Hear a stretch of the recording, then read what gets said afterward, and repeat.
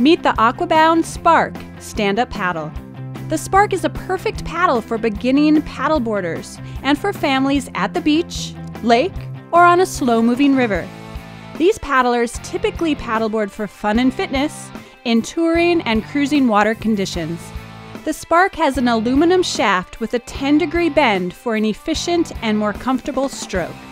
Its spring green blade is made of a proprietary resin and is reinforced with fiberglass for durability. And because the blade is quite stiff, it propels you further with every stroke.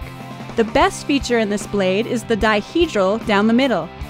This feature significantly improves your paddling stroke efficiency, allowing a smooth, stable stroke with no flutter. The Spark's Contour Palm Grip provides a very comfortable hold and gives you a very particular blade control, which is important when bracing. Best of all, the Spark weighs only 31 and a half ounces, so your time on the water is easy on muscles and joints. And it's really cool.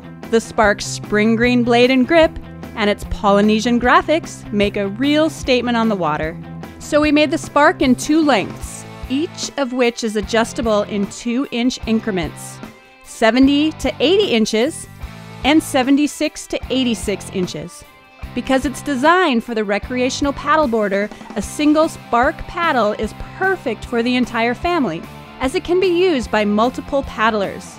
The right paddle can make all the difference in paddleboarding. It can improve your workout, reduce overall fatigue, and can mean joints and muscles that don't ache.